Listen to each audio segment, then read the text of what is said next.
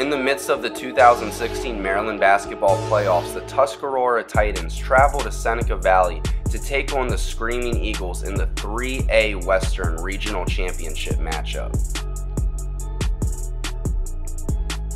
Starting off in the first quarter, Quinn Twyman of the Eagles gets a pass down low and he goes up strong in the paint for the finish for the first two points of the game. Now, getting a pass down low, Twyman goes up strong again with the finish.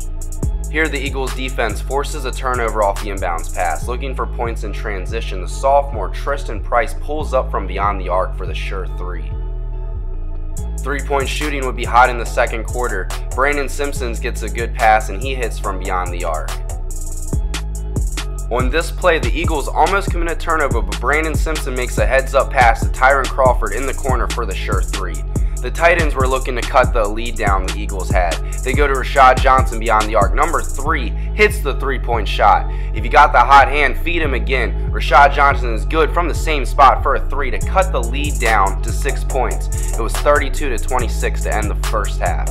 Now in the third quarter, the Titans are trying to cut that lead down even more. Jalen Washington gets a pass off the turnover. In transition, he goes coast to coast for the two. Now needing a big shot. Who else do they go to? The Titans find Rashad Johnson beyond the arc, way beyond the arc for the big time three.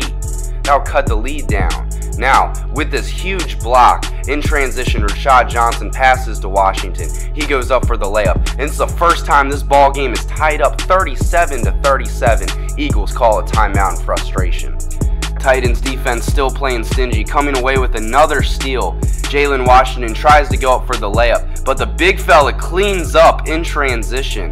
As time was winding down in the third quarter, the Titans look for one last big shot. Rashad Johnson, who had 18 points on the night, hits another big shot from beyond the arc to tie up the game 43 to 43 to end the third tie wouldn't last for long in the fourth. Off the missed shot, the Eagles go in transition. Tyron Crawford goes up for the layup. He would hit the shot, get fouled, and make the free throw for the three-point play. The Titans would continue to fight as number two Miles Beltran hits a three from beyond the arc.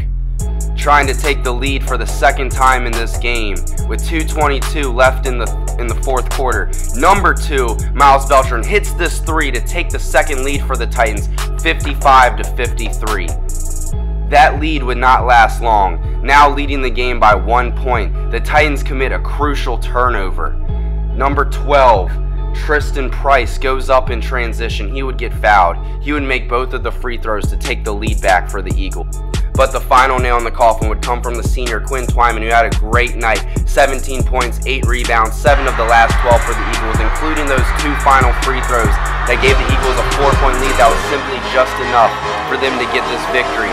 They're the West Regional champs, and they will be advancing to the semifinals at College Park. We worked hard all, all season. We worked, we worked, we worked,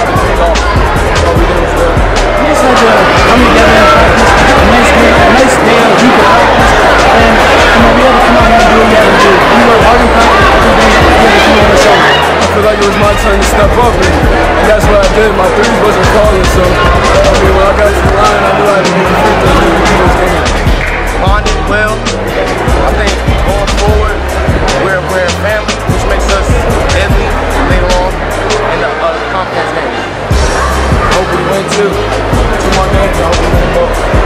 Practicing really hard and being there for one another, you know.